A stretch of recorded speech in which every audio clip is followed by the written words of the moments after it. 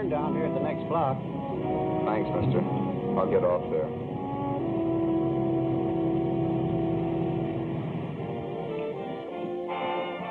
Want anything else? No. Hey, you. Me? Yeah, you. Where you heading? East. Too bad. I thought if you was heading north, I might be able to help you out. Pushing the Salt Lake, and I don't like to ride it alone at night. I'm one of those guys that got to talk or I fall asleep. Oh. Sure, now, my, my partner, he's got Lou to keep him company, but I ain't got nobody at all. Where you coming from? West. Yeah, sure, I know, but where, L.A.? Maybe. Got a cousin out in L.A. You don't say. Yeah, he's been out. You're not much of a talker, are you? My mother taught me never to speak to strangers. Oh, a wise guy. So what? Okay, okay, don't get sore. Just trying to be sociable, that's all. Hey, Glamorous. We change for a dime, will you?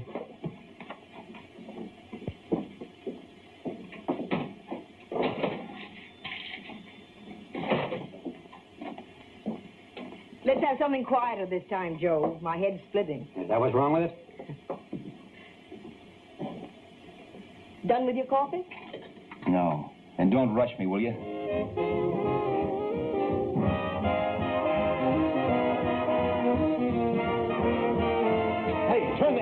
Turn that thing off? What's eating you now? Yeah, what's eating you? That music, it stinks. Oh, you don't like it, huh? No, turn it off. Oh, wait a minute, pal. That was my nickel, see? This is a free country. And I play whatever I wanted. Okay. Sure. And if you don't like it, you don't have to listen to it. And you can leave here anytime you want it. Okay, okay. I'm sorry I asked. First good piece played tonight, and you don't like it. Some people just ain't got any good taste.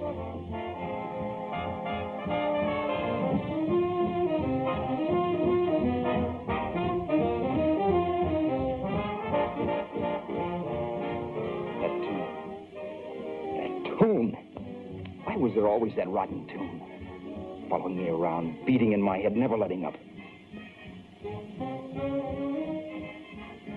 Did you ever want to forget anything? Did you ever want to cut away a piece of your memory or blot it out?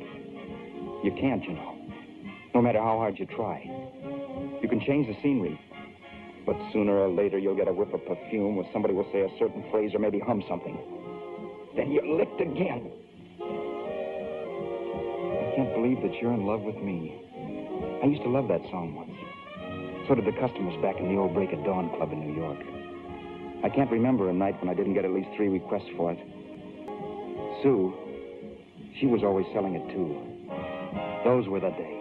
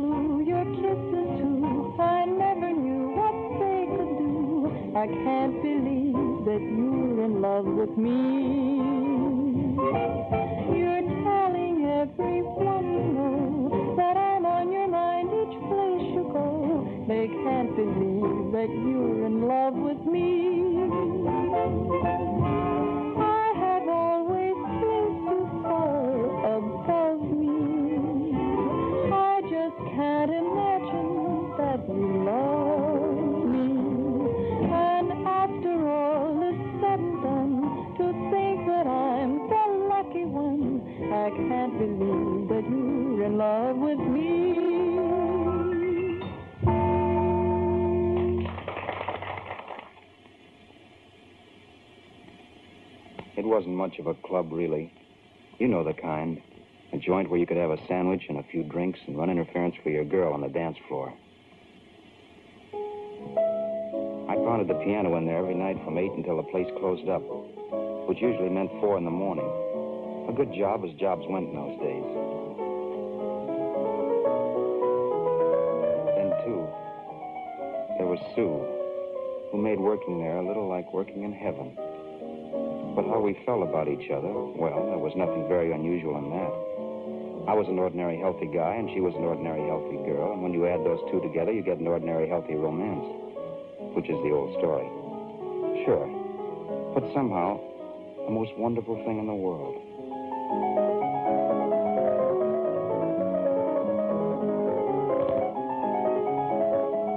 All in all, I was a pretty lucky guy.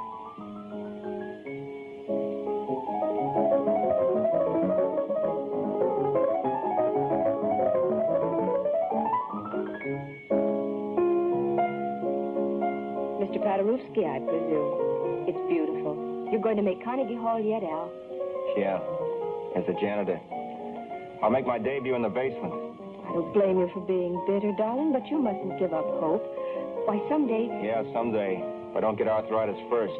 In the meantime, let's blow this trap.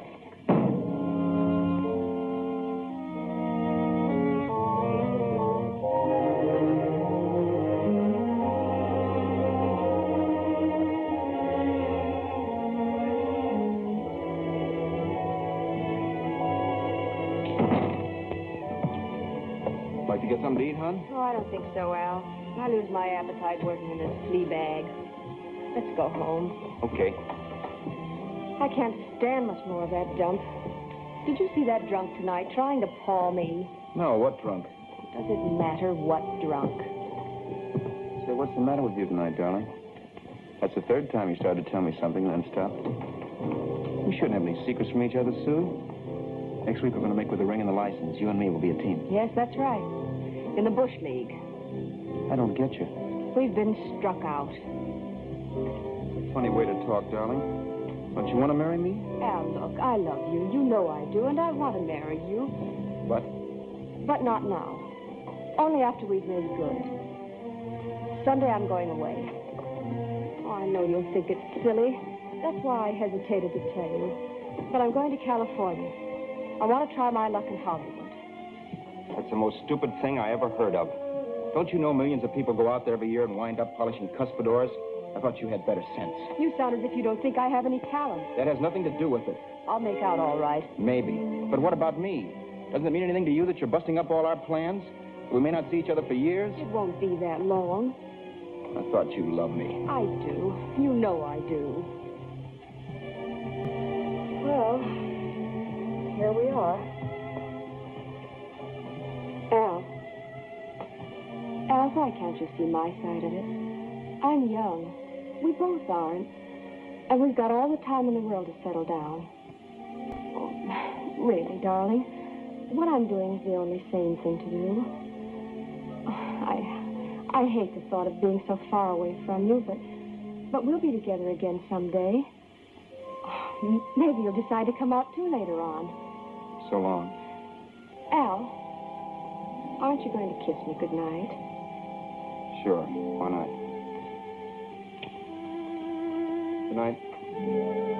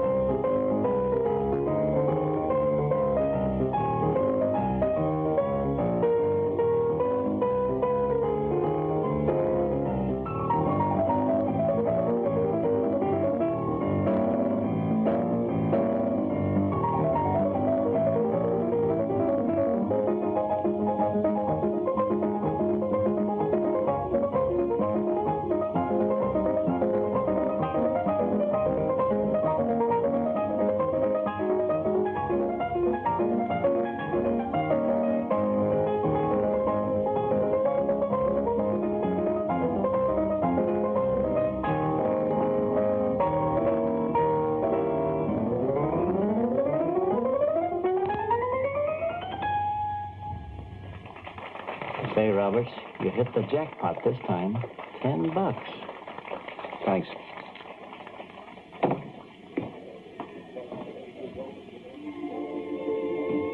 So when this drunk handed me a ten spot after a request, I couldn't get very excited.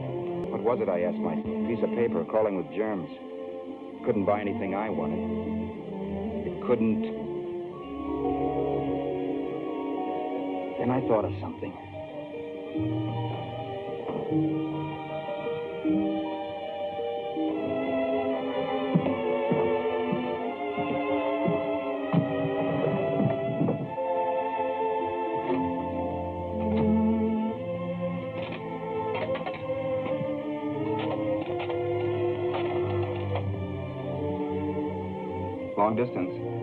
Put a call through to Los Angeles. Miss Harvey. Sue Harvey. H A R V E Y. The number is Crestview 65723.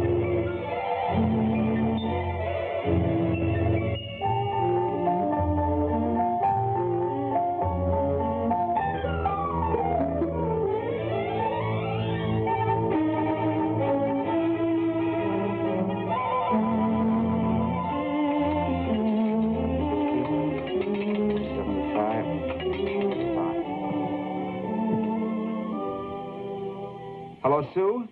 This is Al. Oh, baby, it's great to hear from you, too. What's that? You do? Oh, me too, darling. I thought I'd go batty without you. I just had to. Huh? You're working as a hashlinger? Gee, honey, that's tough. Those guys out in Hollywood don't know the real thing when it's right in front of them. I'm sure you'll click. Look, I'll tell you what. You stay put out there, I'll come to you. No, don't try to stop me. Just expect me. Train?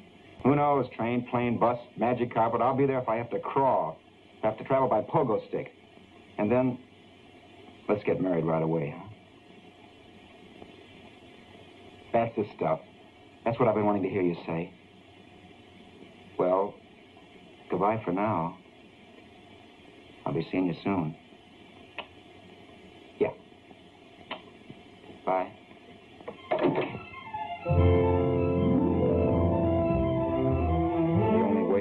Cross country was to thumb rides. For even after hawking everything, I only had enough money to eat. Money. You know what that is. It's the stuff you never have enough of. Little green things with George Washington's picture that men slave for, commit crimes for, die for. It's the stuff that has caused more trouble in the world than anything else we ever invented. Simply because there's too little of it. At least I had too little of it. So it was me for the thumb.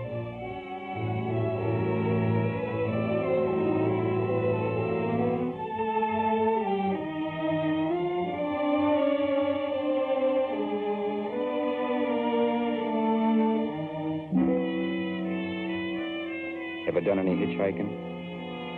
It's not much fun, believe me. Oh, yeah, I know all about how it's an education, how you get to meet a lot of people and all that.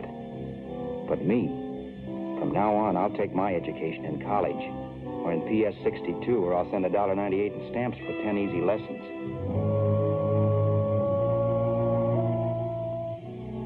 Thumbing rides may save you bus fare, but it's dangerous. You never know what's in store for you. You hear the squeal of brakes. If only I had known what I was getting into that day in Arizona. Here, throw that in the back seat. Okay, let's go. Make sure that door's closed.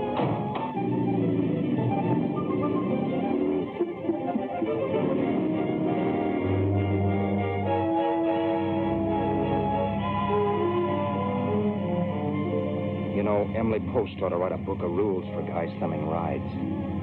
Because as it is now, you never know what's right and what's wrong. We rode along for a little while, neither one of us saying anything. I was glad of that. I never know what to say to strange people driving cars. Then, too, you can never tell if a guy wants to talk. A lot of rides have been cut short because of a big mouth. So I kept my mouth shut until he started opening up.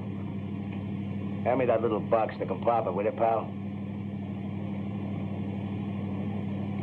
Hold the wheel, will you?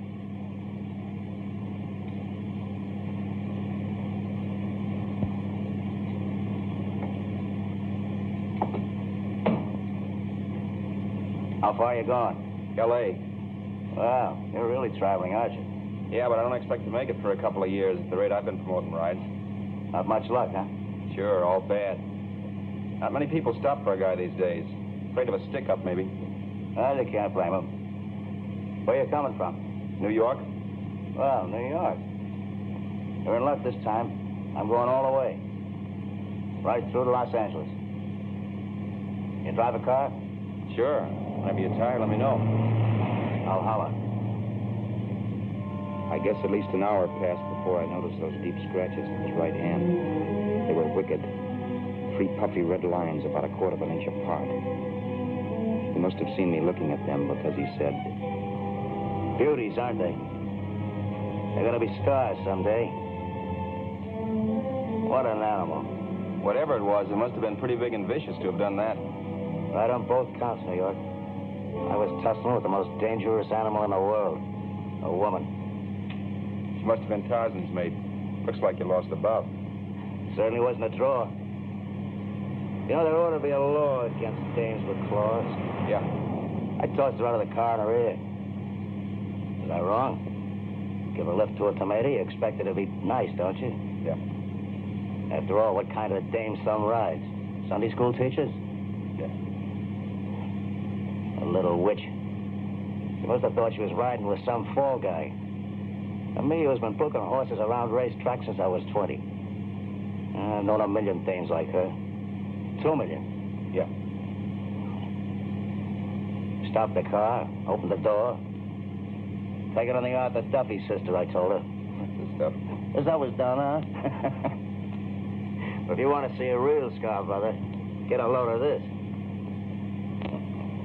I got that one dueling. Dueling? Yeah, we're just kidding, of course.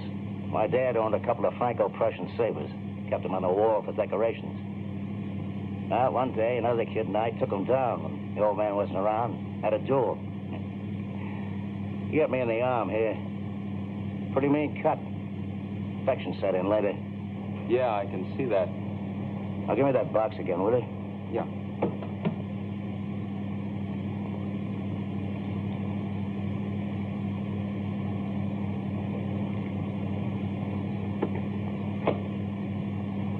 Pain made me lose my head, I guess. Began slashing. Before I knew it, I'd put the other kid's eye out. That was tough. Well, it was just an accident, of course. But you know how kids are. I got scared and decided I was going to run away from home. Old man almost caught me when I was packing my duds. The bloody rag I had wrapped around my wrist hadn't caught his attention. Just seen the bundle for sure. But I beat it when he was phoning for a doctor. I was 15, 16 years ago. I haven't been home since. Pull in there for a bite or something, huh? a bite or something. Brother, was I hungry. I hadn't had anything in my stomach for hours. Yet even with that gnawing in the pit of my belly, I didn't want to be in too big a rush to put on the feed bag. First, I had to make sure this guy knew the score. If I got him down on me, it was goodbye ticket to Hollywood. I'll wait out here for you, mister. If it's the money, don't worry about paying for it. This time it's on me. Well, that's white of you, Mr. Haskell, think nothing of it. You make your first million, maybe you can do the same for me. Come on, New York. I gotta make the West Coast by Wednesday. There's a horse running at Santa Anita named Bicycle. Means dough to me if I'm on him. We'll make it all right. He did most of the talking during the half hour we were in the place. I ate. He rambled on about his old man, whom we hadn't heard from since he ran away as a kid. Now he happened to become a bookie. And then all about how he got rooked in Miami. One race, 38 grand. They cleaned out my book.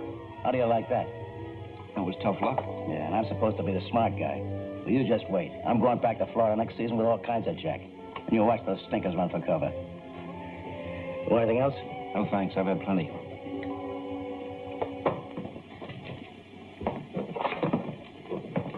Check there, sister?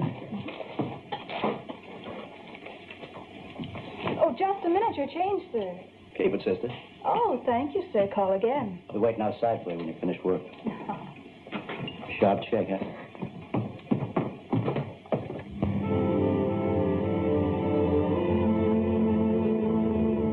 I drove all that night while Haskell slept like a log.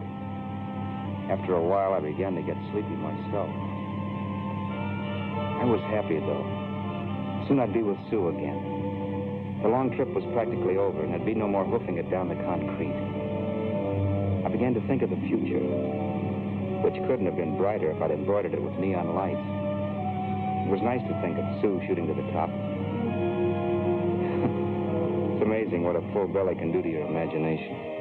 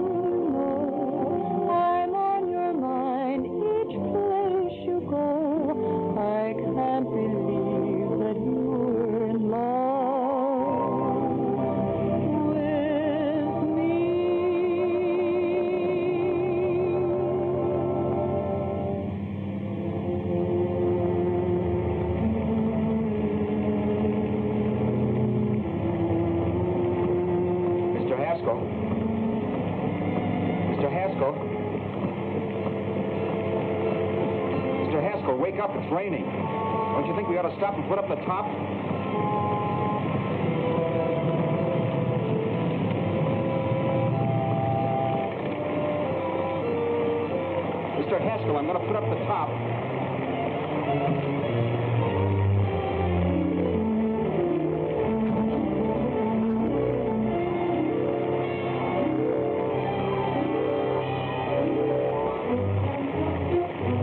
Until then, I had done things my way.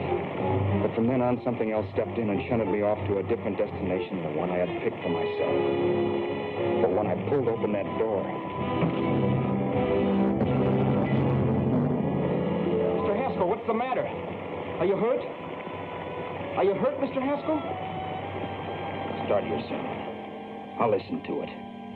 But I know what you're going to hand me even before you open your mouths. You're going to tell me you don't believe my story of how Haskell died and give me that don't make me laugh expression on your smug faces. I saw at once he was dead, and I was in for it. Who would believe he fell out of the car?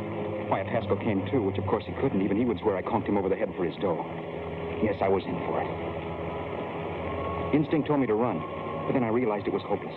There were lots of people back down the road who could identify me. That gas station guy and the waitress. I would be in a worse spot then, trying to explain why I beat it. The next possibility was to sit tight and tell the truth when the cops came. But that would be crazy.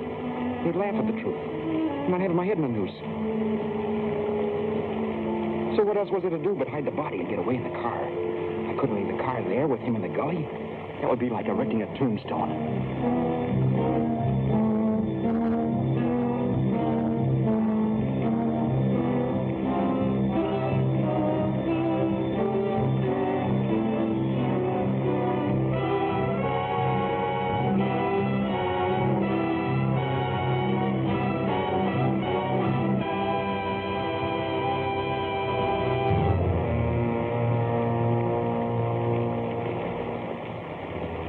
Idea was to cover him with brush, not to rob him. But then I remembered that even if I only drove the car for a hundred miles or so, I would need money for gas.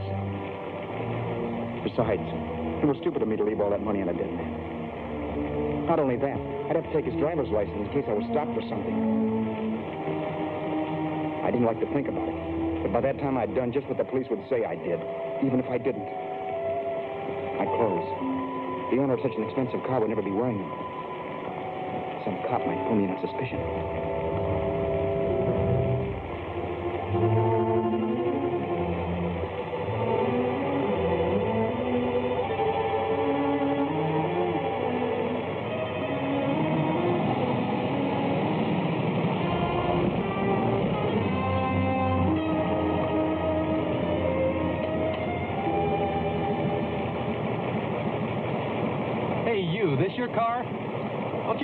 Leave a car with the wheels halfway in the middle of the road?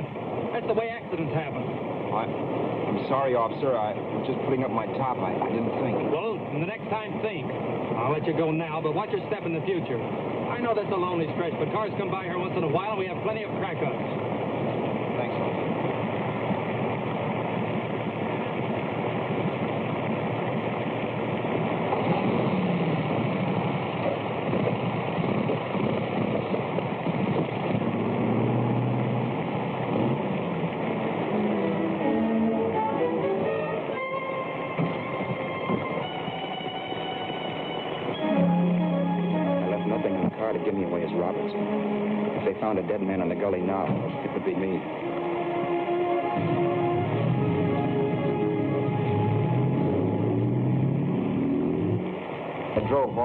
still raining. And the drops streaked down the windshield like tears. I kept imagining I was being followed and that I could hear sirens back in the distance. Just how long it took me to cover the 60-odd miles to the California state line, I don't know. I lost all track of time. But the rain had stopped and the sun was up when I pulled up to the inspection station. Hello? Carrying any fruits or vegetables? No. Any livestock or poultry? No. I'd see your registration and driver's license, please. Anything in the baggage compartment? This baggage. Charles Haskell Jr., age 30, brown eyes, dark hair. Identifying marks, none. Are you Charles Haskell Jr.? Yes. Well, remember, if you're employed and you stay over 30 days, you take out California plates. All right, officer, but I'll only be in the state a short while. Right, you can go now.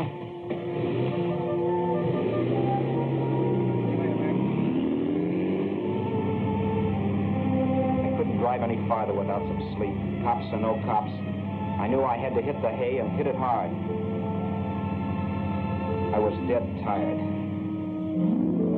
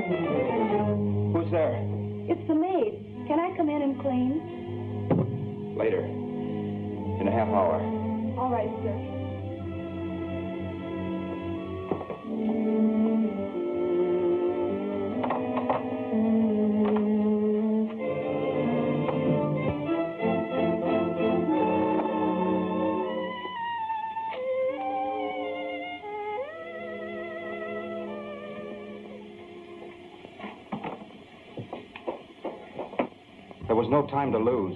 Every minute I had to be Charles Haskell was dangerous. And I'd have to be Charles Haskell until I got to some city where I could leave the car and be swallowed up.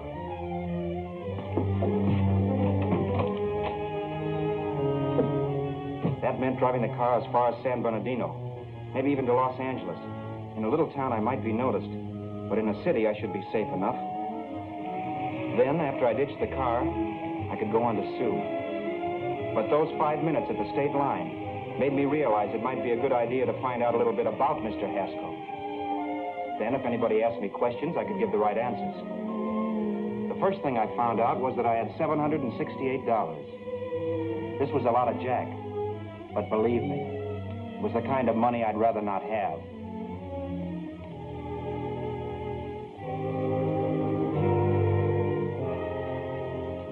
And then I found out from a letter Haskell was carting around in his bag that he wasn't the open-handed, easy-going big shot who went around buying dinners for strange hitchhikers. Before I got done reading it, I saw him more as a chiseler. It was written to his old man in California, the one he hadn't seen in so many years. In it, Haskell posed as a salesman of hymnals, of all things. It was easy to see where Haskell expected to raise a new stake for his book in Miami by rooking his old man. That was about all I found out from his effects, and it was enough. I told myself maybe old man Haskell was lucky his son kicked off. He would never know it. but it saved him from taking a flyer in sacred literature preferred.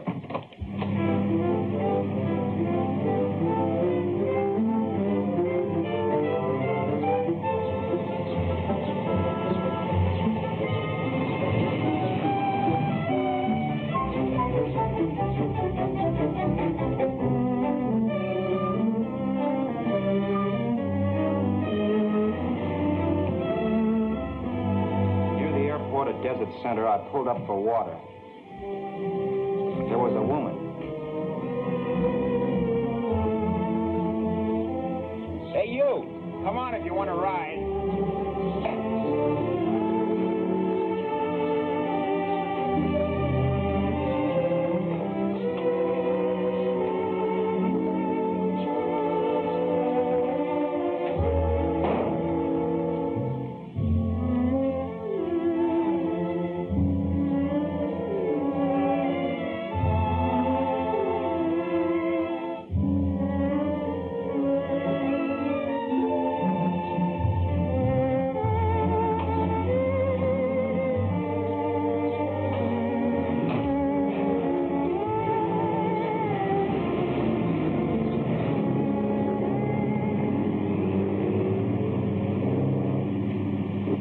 You going?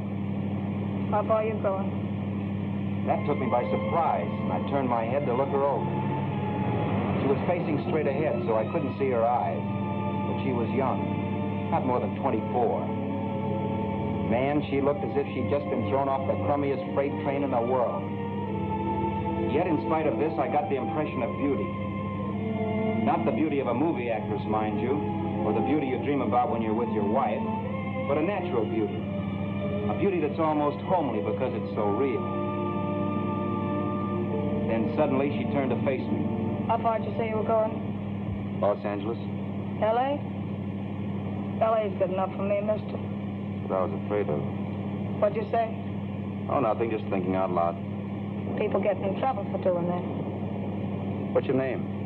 You can call me Vera if you like. You live in Los Angeles? No. Where are you coming from? Oh, back there. Needles? No. Oh, sure, Phoenix. You look just like a Phoenix girl. Are the girls in Phoenix that bad? The girl must have been pretty tired because she fell asleep not 20 minutes after she stepped into the car. She lay sprawled out with her head resting against the far door, like Haskell. I didn't like that part of it much, but I didn't wake her up. It wasn't that this girl still worried me. I'd gotten over that funny feeling I had when she looked at me, which I put down It's just my jangled nerves. With her eyes closed and the tenseness gone out of her, she seemed harmless enough. And instead of disliking her, I began to feel sorry for her. The poor kid probably had had a rough time of it. Who was she, anyway? And why was she going to Los Angeles? And where'd she come from in the first place? The only thing I knew about her was her name. Not that it made any difference. A few hours more and we'd be in Hollywood. I'd forget where I parked the car and look up Sue. This nightmare of being a dead man would be over. Who this dame was, well, it was no business of mine. Where did you leave his body? Where did you leave the owner of this car? You're not fooling anyone. This buggy belongs to a guy named Haskell. That's not you, mister. You're out of your mind. That's my name, Charles Haskell. I can prove it. It's my driver's Save license. yourself the trouble, mister. Having Haskell's wallet only makes it worse. It just so happens I rode with Charlie Haskell all the way from Louisiana. He picked me up outside of Shreveport. You rode, You heard me. Then it all came back to me. All the talk about dueling and scars and scratches. There was no doubt about it. Vera must be the woman Haskell had mentioned. She must have passed me while I slept. Well? Well, I'm waiting. My goose was cooked. She had me. That Haskell guy wasn't dead yet. He wasn't stretched out stiff and cold in any Arizona gully. He was sitting right there in the car, laughing like mad while he haunted me. Well? There was nothing I could say. It was her move. Vera, whatever her name was, was just my luck picking her up on the road. It couldn't have been Helen, or Mary, or Evelyn, or Ruth. It had to be the very last person I should ever have met. That's life. Whichever way you turn, fate sticks out a foot to trip you.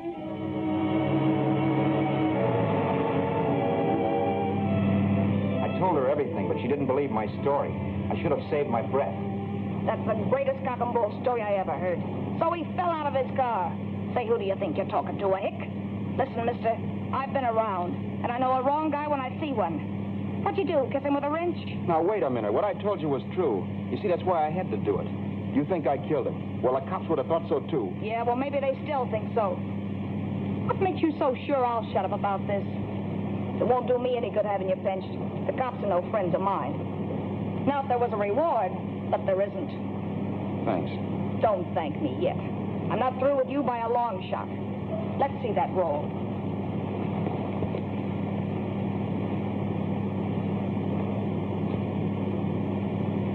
Is that all, Hef? Isn't it enough? No, I thought he had more. Not that I know of. You can search me. You think I'm holding out on you? Well, maybe I will at that. He told me he was going to bet $3,000 bicycle on Wednesday at Santa Anita. He was stringing you along. He meant 300. Maybe. Sure, three bucks, 300. He was a piece of cheese, a big blowhard. Listen, mister, don't try and tell me anything about Charlie Haskell. Remember, I knew him better than you did. Okay, then you knew he was a four-flusher. That explains the three grand bet. I'm not so sure he didn't have that three grand. Why should I believe you? You got all the earmarks of a cheap crook. Now, wait a Shut minute. up. You're a cheap crook and you killed him. For two cents, I'd change my mind and turn you in. I don't like you. All right, all right. Don't get sore. I'm not getting sore. But just remember who's boss around here. If you shut up and don't give me any arguments, you'll have nothing to worry about. But if you act wise, well, mister, you'll pop into jail so fast it'll give you the bends. I'm not arguing. Well, see that you don't. You know, as crooked as you look, I'd hate to see a fella as young as you wind up sniffing that perfume that Arizona hands out free to murderers. I'm not a murderer. Of course you're not. Haskell knocked his own head off. He fell, that's how it happened, just like I told you. Sure, and then he made you a present of his belongings. I explained why I Oh, had to do skip that. Doesn't make a difference one way or another. I'm not a mourner. I liked Haskell even less than I like you. Yeah, I saw what you did to him. What do you mean? Those scratches on his wrist. Sure, I scratched him. I'll say you did. So your idea was to drive the car a little way, maybe into San Bernardino, and then leave. You weren't going to sell it? Sell it. You think I'm crazy? Somebody else's car? See, all I want to do is leave it somewhere and forget I ever saw it. Not only don't you have any scruples, you don't have any brains. I don't get you. Maybe it's a good thing you met me. You'd have got yourself caught, sure. Why, you dope. Don't you know a deserted automobile always rates an investigation? Huh? Look, the cops find a car. Then they get curious. They wonder where the owner is. So, all right, they don't trace Haskell. They trace you. I never thought of that. The only safe way to get rid of the car is to sell it to a dealer. Get it registered under a new name. Say, stop at the next store. I want to get a bottle and do some shopping before we hit L.A. Okay. Since we find a place, I'll drop you off and pick you up later. Nothing doing. You're coming in, too. From now on, you and I are like the Siamese twins. Have it your way. I don't get the point, The point is, I don't want you to get lost. I'm not going to beat it if that's what you're afraid of. I'll say you're not. Well, I'm going to see that you sell this car so you don't get caught. Thanks. Of course, your interest wouldn't be financial, would it? You wouldn't want a small percentage of the profits. Well, now that you insist, how can I refuse? A hundred percent will do. Fine. I'm relieved. I thought for a moment you were going to take it all. I don't want to be a hog. A few hours later, we were in Hollywood. I was recognizing places Sue had written about. It struck me that far from being at the end of the trip, there was a greater distance between Sue and me than when I started out. Vera wasn't kidding with that Siamese twins crack. She rented a little apartment as Mrs. Charles Haskell. When I objected to this, she explained that it was on account of the car. A dealer might think something was funny if he called and found we were using different names.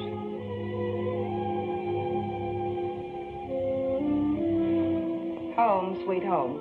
Yeah. Not bad either.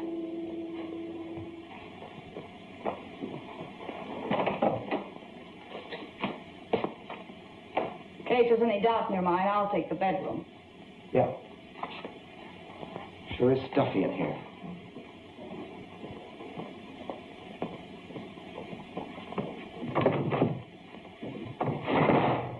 The window shut. Okay. The old crow downstairs said there's a folding bed behind this door.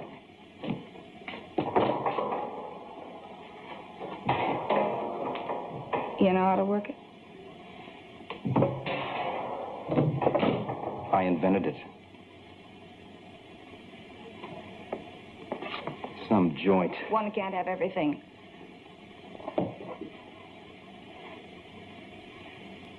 I'm first in the bathtub. I don't know why, but I figured you would be.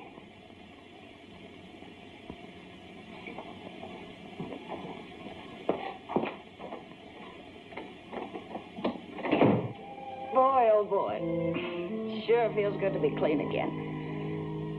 I must be 10 pounds lighter. You must be. Well, hitching rides isn't exactly the way you keep your schoolgirl complexion. I wish that guy with the sacks would give up. Gets on my nerves. Forget it. Have a drink. Aren't you afraid I might take you up on it? If I didn't want to give you a drink, I wouldn't have offered it. I'd be sorry, Ed Roberts. You got yourself into this thing. You should be grateful I'm not turning you in. Why, if I wasn't regular, you'd be in the pen this minute, being photographed, fingerprinted, and being pushed around by the cops. So cheer up. Get rid of that long puss. Or is your conscience bothering you? No. It isn't. Swell. That's the spirit. He's dead and no woman around will bring him back. I never could understand this worrying about something that's over and done with. Now, look, Vera, for the last time, I didn't kill him. Haskell was a sick man. Maybe he was dead before he fell out of the car. I don't know. Sure, sure. He died of old age. All right. So it'll make you sociable? You didn't kill him.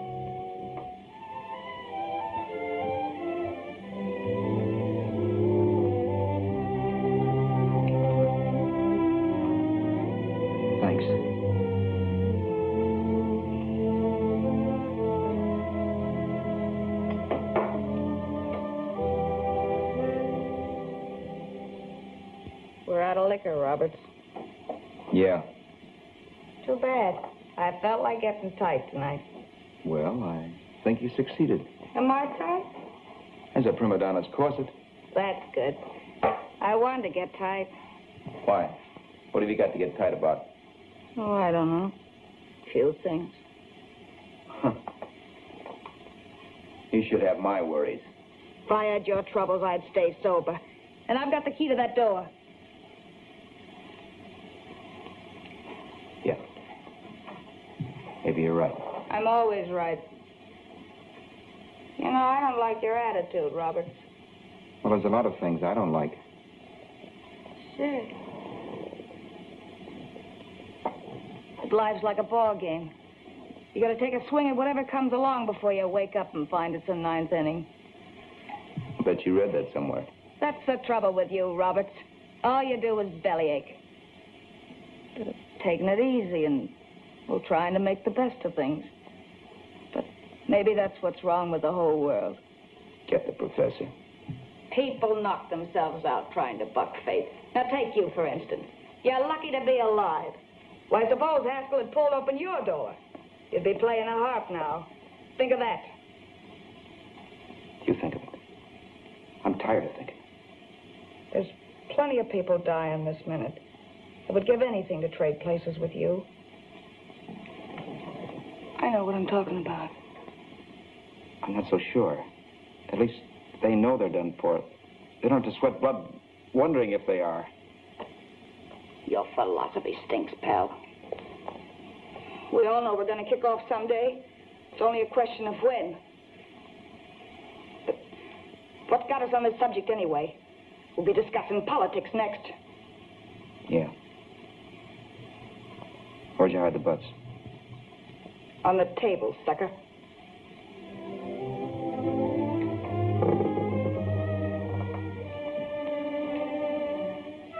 Bored each other with conversation for a couple of hours longer. Every five minutes, one of us was wishing we had another bottle or a radio or something to read. Then finally, we ran out of chatter. I know it's only 11 o'clock, but I want to get up early and make the rounds of the used car lots. No hurry about that. We've got all the time in the world. Maybe you have, but if you think I want to stay cooped up in this place any longer than I have to, you're batty. It's not a bad place. Pay plenty for diggings like this in New York. I wouldn't like it if it was the Ritz.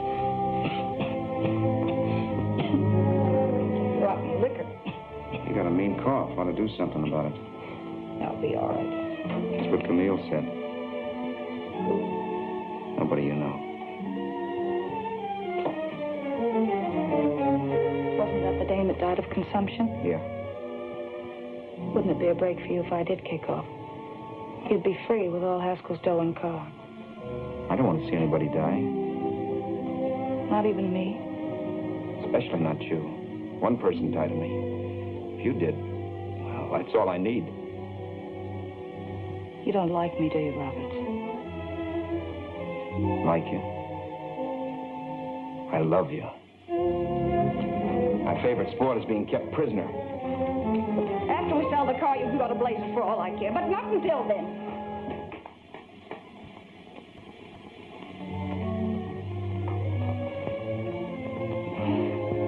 I'm going to bed.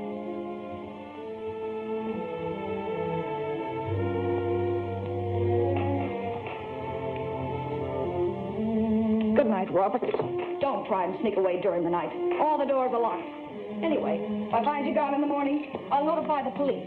They'll pick you up. Don't worry, I know when I'm in a spot. Well, good night. I hope that portable rack isn't too uncomfortable for you. Don't lose any sleep over it, will you,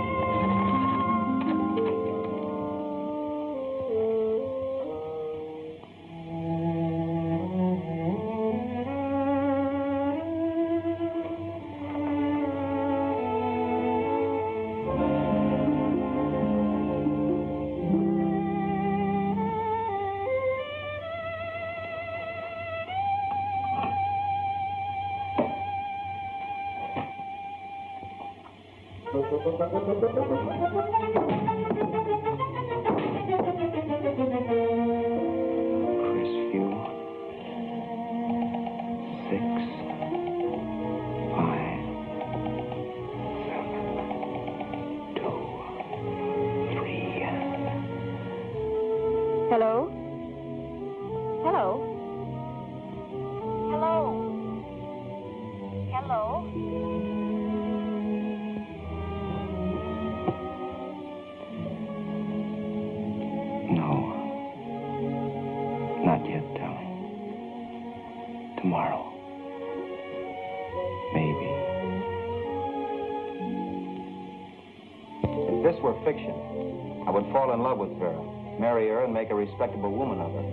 She'd make some supreme Class A sacrifice for me and die. Sue and I would bawl a little over her grave and make some crack about there's good in all of us. But Vera, unfortunately, was just as rotten in the morning as she'd been the night before. All right, all right, I'm coming. Look, Vera, it's almost noon.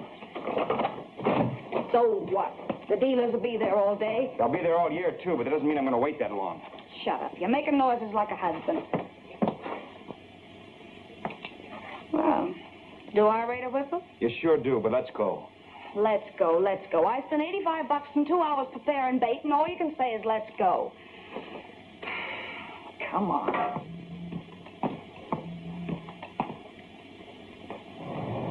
We passed a few used car lots last night down this way. What do you think we can get for this heap? I don't know. Plenty. You just let me handle everything. Think we can get $2,000? I don't know, but don't worry. I'll squeeze as much out of this guy as I can. I let it go cheap without a fight, he might think we've stolen the car. And listen, don't make any slips and call me Roberts. That'll cook us.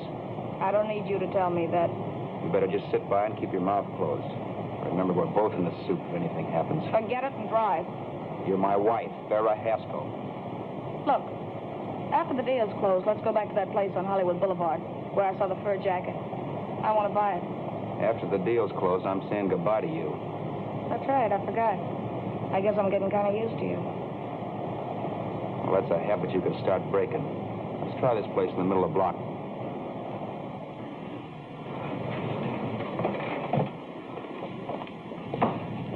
Good afternoon. What can I do for you? We're interested in selling a car. If the price is right. Well, if it's in good mechanical condition, it should blue book for about 1600 Tony, take a look at this motor. 1600 are you kidding?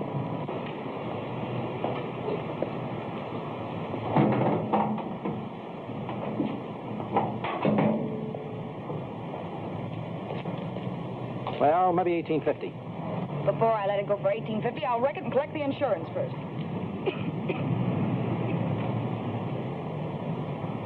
Eddie, this motor's seen a lot of driving.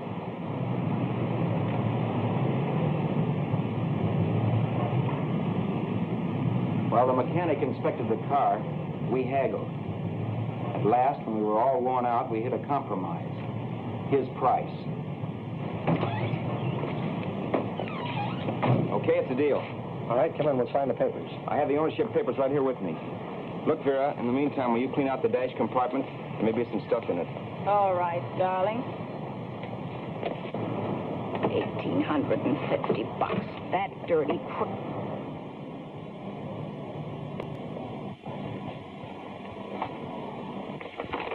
In New York, huh? Yeah. But you bought the car in Miami. Yeah. Well, now let's see about the insurance. We can either have it transferred or canceled. Uh, what kind of insurance do you have, Mr. Haskell? Well, uh, aren't all the papers there? I don't see any. Surely you know what type of insurance you carry in the car. The name of the company? Yeah, but, uh, Well, if you'll just tell me the name of the company, I'd be very glad to take care of all the details. Well, Did you sign the papers yet? not yet. Well, don't. Uh, we're not selling the car. Well, wait a minute, Miss Haskell. Come on, darling. What's the matter? You changed your mind? yes, I'm sorry. I guess I have. But Vera, Let's go.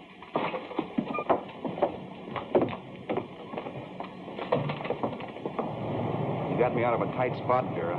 But I still don't understand all this. You will in a minute. I almost threw away a gold mine. 1850 isn't to be sneezed at. The car doesn't book for as much as I thought. We're not selling the car. You want to keep it. Now, wait a minute, Vera. You said yourself I wouldn't be safe until the car was in someone else's name. I'd like to be free of this mess when I go. That's just it, Roberts. You're not going. There's a drive-in at the next corner. Pull in there and we'll get a bite to eat. And I'll explain. What is this, another one of your brilliant ideas?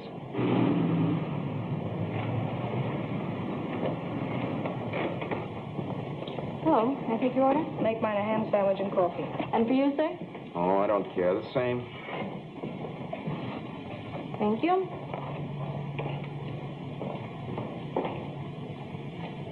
Get this, Vera. I've been pretty patient so far. I've done everything you asked me to do, but no more. Shut up.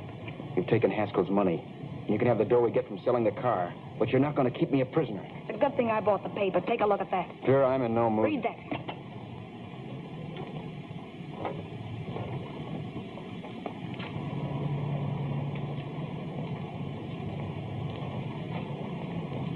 No. Yes. No, I won't do it. Yes, you will. You think I'm crazy? It's impossible, I tell you. Excuse me.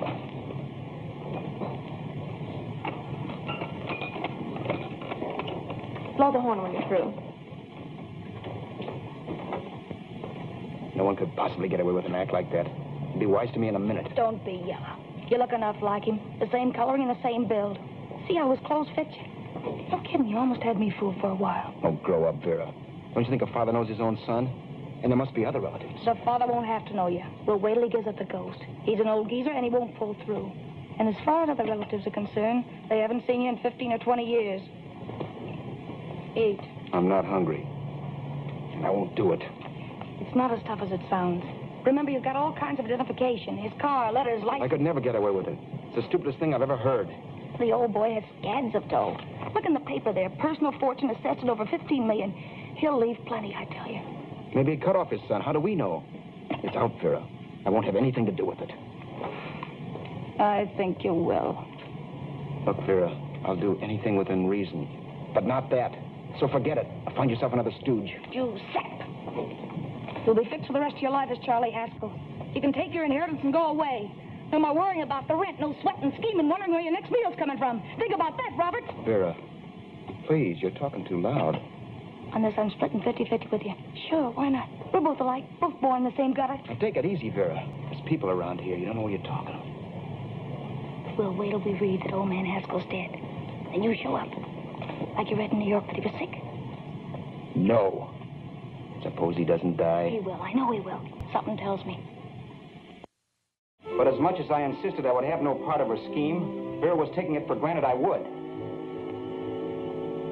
Neither of us had our mind on the cards as we played that night.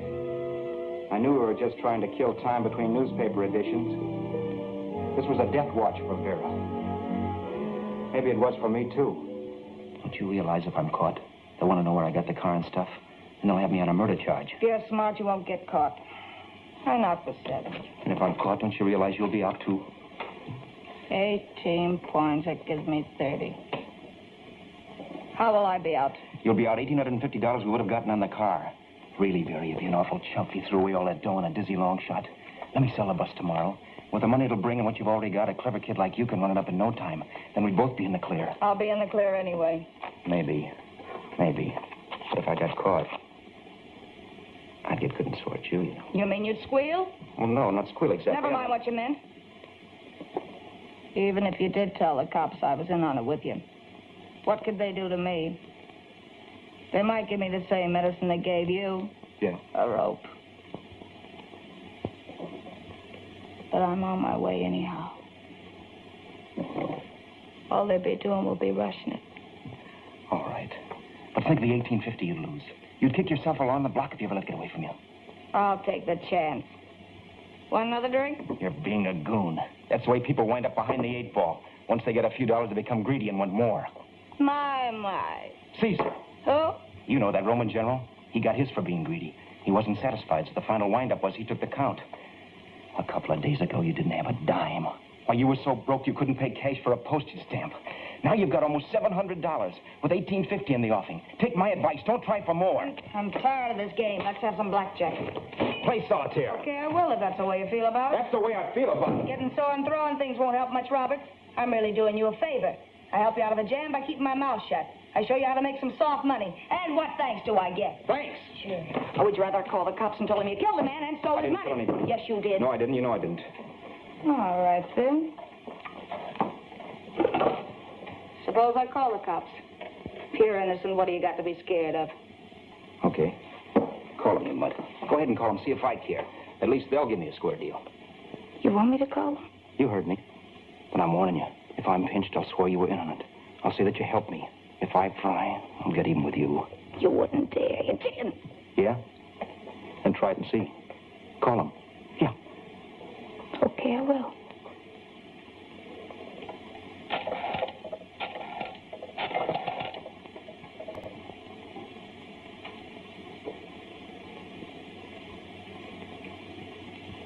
Information? I want the number of the Hollywood police station. Okay, I got it. Thanks. Wait a minute, Vera. You wouldn't do that. Oh, wouldn't I? Give me that and I'll show you if I would. Take it easy now. Let's talk this over. This was early in the evening, and the conversation, while hectic, was at least pitched low. But as the minutes passed, and more obstacles to her plan popped into my head, the air got blue. Each word coming from our lips cracked like a whip. I reminded her that as Charles Haskell, I didn't even know my mother's name, where I'd gone to school, the name of my best friend, whether I had an Aunt Emma or not, my religion, and if I'd ever owned a dog. I didn't even know what my middle initial stood for. I also pointed out that the real Haskell had a scar on his forearm. His people never saw that scar. He told me he ran away right after putting out the kid's eye. Yeah, but his father knew he was cut. It'll be some kind of a mark. So what? The old man's dead or will be. I hope by tomorrow morning's papers. Anyway, you could cut yourself a little, couldn't you? Boy, for that kind of dough, I'd let you cut my leg off. You're drunk and you're crazy mad, Vera. Turn me in if you want to, but I won't get mixed up in this. Besides, how do we know Haskell was such a phony? Maybe it wasn't the man's son at all. Maybe he just dreamed it up. Well, dreaming or not, you won't be dreaming when the law taps you on the shoulder. There's a cute little gas chamber waiting for you, Roberts. And I hear extradition to Arizona's a cinch. Where's that phone? Vera! Leave me alone. Vera! Here. I want a phone. Call police. I hate you, yellow stinker. You leave me alone. I'll let you alone you promise to leave the phone where it is. You're drunk. You don't know what you're doing. You're hurting me. Will you promise? All right. You hurt me. I'm sorry, but. And it's hot in here. Open up a window. It's not hot. Don't tell me. Now, do you do it or do I do it? You're no gentleman, see? Yeah. All right. I'll open up the window.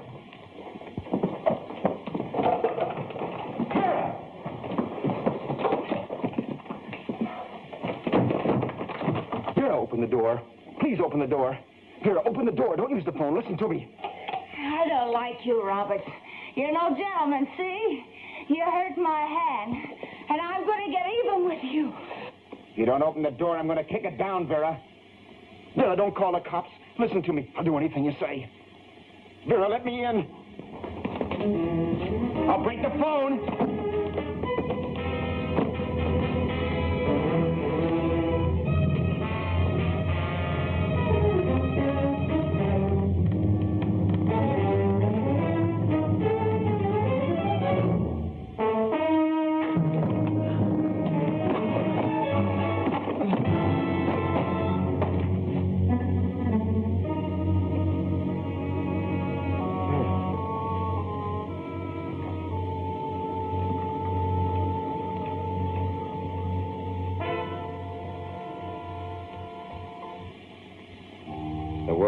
Skeptics. I know. I'm one myself. In the Haskell business, how many of you would believe he fell out of the car? And now, after killing Vera without really meaning to do it, how many of you would believe it wasn't premeditated? In a jury room, every last man of you would go down shouting that she had me over a barrel and my only out was force. The room was still. So quiet that for a while I wondered if I had suddenly gone deaf. It was pure fear, of course. And I was hysterical. But without making a sound. Vera was dead. And I was her murderer. Murderer. What an awful word that is. But I'd become one. I'd better not get caught. What evidence there was around the place had to be destroyed. And from the looks of things, there was plenty. Looking around the room at things we'd bought was like looking into the faces of a hundred people who'd seen us together and who remembered me. This was the kind of testimony I couldn't rub out. No. I could burn clothes and hide bottles for the next five years. There'd always be witnesses. The landlady, for one. She could identify me. The car dealer, the waitress in the drive-in, the girl in the dress shop, and that guy in the liquor store. They could all identify me. I was cooked. Done for. I had to get out of there. While once I'd remained beside a dead body, planning carefully how to avoid being accused of killing him, this time I couldn't. This time I was guilty. I knew it. Felt it. I was like a guy suffering from shock. Things were whirling around in my head. I couldn't make myself think right. All I could think of was the guy with the saxophone and what he was playing. It wasn't a love song anymore. It was a dirge.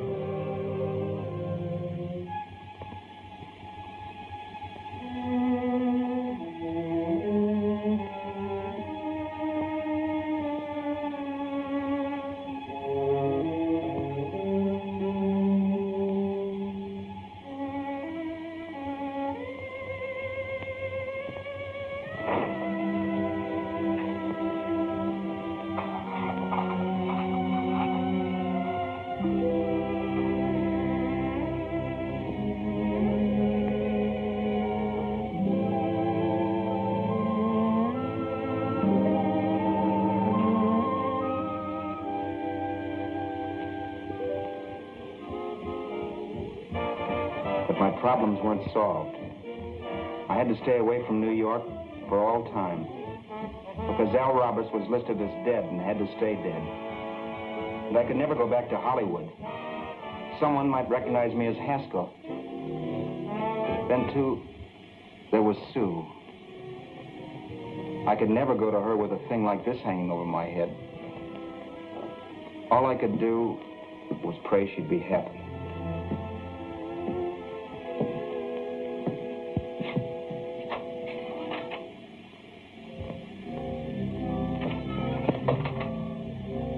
Was in Bakersfield before I read that Vera's body was discovered. And that the police were looking for Haskell in connection with his wife's murder. Isn't that a laugh? Haskell got me into this mess, and Haskell was getting me out of it. The police were searching for a dead man. I keep trying to forget what happened. And wonder what my life might have been if that car of Haskell's hadn't stopped. But one thing I don't have to wonder about. I know. Someday a car will stop to pick me up that I never thumbed.